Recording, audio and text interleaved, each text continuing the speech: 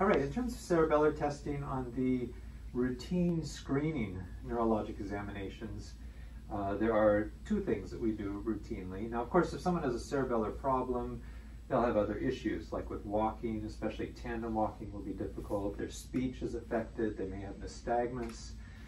Um, and I won't demonstrate those, but I would like to show finger to nose and heel to shin testing. So first, I'll ask the patient to hold up an index finger, and now let me have you touch your nose, and then reach out and touch my finger. Now go back and forth, touch your nose and my finger, touch your nose and my finger. So notice I'm giving him a moving target, and I'm also, I have my finger at a point where he needs to fully extend, okay? So the reason for moving the target is important because if someone has ataxia, go ahead and keep going back and forth, that's going to be more difficult if you're giving them a moving target. And also at the end point of extension, that's often when you'll see a little intention tremor if someone has uh, ataxia. And then we'll compare that with the other side, back and forth. Uh -huh. Keep going. And the patient often will laugh when you move your finger. You can just tell them, you know, got to make it challenging for you. All right, so for the lower extremity, um, we'll have the patient take their heel, and then if I could have you drag it up and down this shin on the other side. Excellent. Same thing now with the other heel. Okay, good. Now, some additional things that we can do to check for ataxia.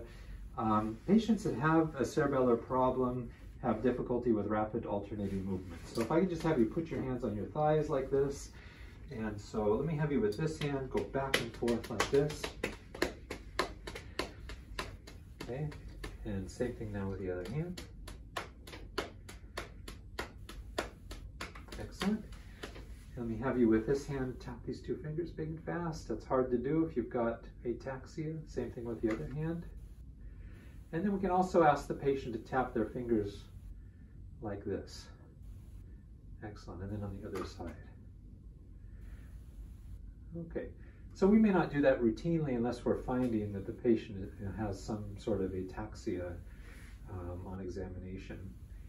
Um, one additional thing we can do is to check for rebound. So hold your arms like this.